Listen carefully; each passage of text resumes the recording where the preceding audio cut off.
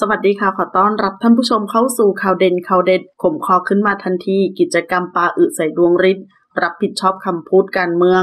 จากกรณีที่นายดวงฤทธิ์บุญนาคสถาปนิก และนักออกแบบชื่อดัง สมาชิกกลุ่มแค่ เคยทวิตข้อความประกาศถ้าเพื่อไทยจับมือกับพปชร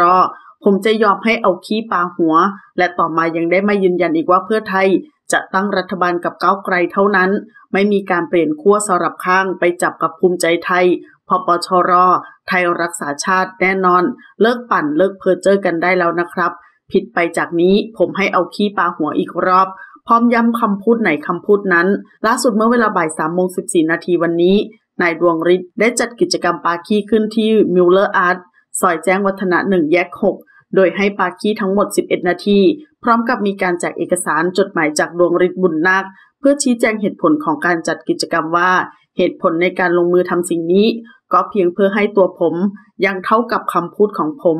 นอกจากนี้นายดวงฤทธิ์ยังบอกด้วยว่าตัวเองไม่ได้ทำสิ่งนี้ จากจุดยืนทางการเมืองหรือความแค้นเคืองใด ๆ แต่ต้องการแสดงออกเพื่อรักษาไว้ซึ่งอิสรภาพในการเป็นอิสรภาพในการแสดงออกของผม เพราะผมได้พูดในสิ่งที่ผมเชื่ออย่างบริสุทธิ์ใจ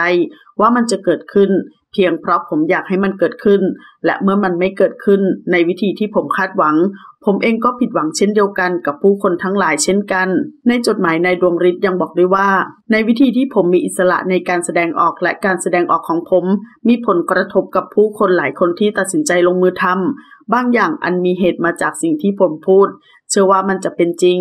เมื่อมันไม่ได้เป็นจริงเช่นนั้น ก็ต้องรับผิดชอบในสิ่งที่ได้พูดออกไป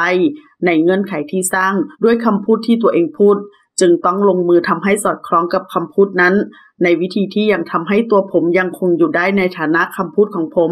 เป็นวิธีเดียวที่ยังทำให้ผมยังมีอิสระในคนที่ผมยังเป็นอยู่ ขณะเดียวกันจดหมายของดวงฤทธิ์ยังระบุด้วยว่า ทุกคนที่ได้มาเข้าร่วมช่วยเหลือผม ในการแสดงออกครั้งนี้ล้วนได้ทำความเข้าใจอย่างชัดเจน ในเหตุของการลงมือทำในครั้งนี้มิได้มีเหตุมาจากการเมืองหรือความไม่พอใจใด ๆ ทุกคนมีส่วนร่วมในการแสดงออกนี้ด้วยเหตุผลเดียวคือ ต้องการสนับสนุนผมเพื่ออิสรภาพในการเป็นของผม อิสรภาพในการแสดงออกของผม และต้องการให้ผมยังคงอยู่ในฐานะคำพูดของผม สุดท้ายนายดวงฤทธิ์ได้ขอบคุณในความเข้าใจ และความห่วงใยที่ทุกคนมีให้ และขอบคุณในความเข้าใจของทุกคนที่อยู่รอบตัว ที่สนับสนุนการแสดงออกครั้งนี้ ด้วยความเข้าใจในความสำคัญของคำพูดที่มีต่อตนเอง และความสำคัญของคำพูดของตนเอง ที่ก่อกำเนิดอยู่ในใจของผู้คนการแสดงออกของผมในครั้งนี้ไม่ใช่การจำนนต่อสถานการณ์ แต่เป็นการแสดงออกด้วยยินดี ในวิธีที่ผมได้ลงมือทำสอดคล้องกับคำพูดของผม และจะทำให้ผมกลับมาเป็นตัวผม ที่ครบถ้วนสมบูรณ์อีกครั้ง และยังคงไว้ซึ่งอิสรภาพที่เป็นอิสรภาพที่จะทำในคนที่ผมเป็น และนั้นเป็นสิ่งเดียวที่สำคัญ สิ่งเดียวที่ประสงค์ในเจตจำนงเสรีของชีวิต ขอขอบคุณข้อมูลจากสยามนิวส์ขอบคุณค่ะ